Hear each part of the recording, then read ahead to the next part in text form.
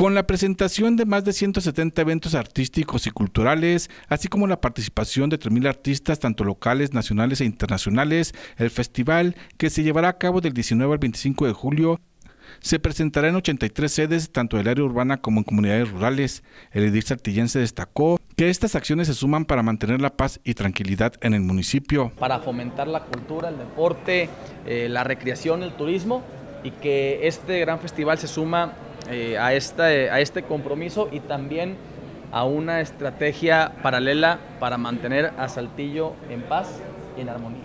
Eh, con 170 eh, actividades, creo que eran las que había. vamos a estar en muchos lugares, en la, en la ciudad, en los ejidos, en los centros comunitarios, incluso vamos a ir al reclusorio también a tener algunas actividades ahí con los reclusos. Y, bueno, eh, este festival se, está logrando gracias a la participación de 4.000 personas que están participando.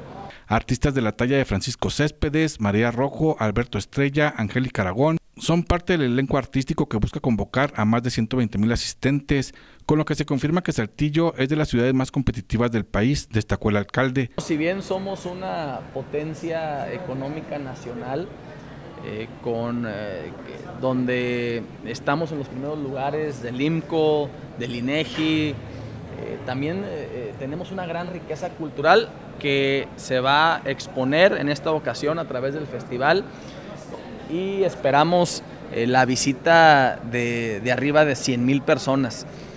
que puedan disfrutar de este gran festival que ofrece Saltillo. Con imágenes de Miguel Cerda para RCG Informa, Carlos Hernández.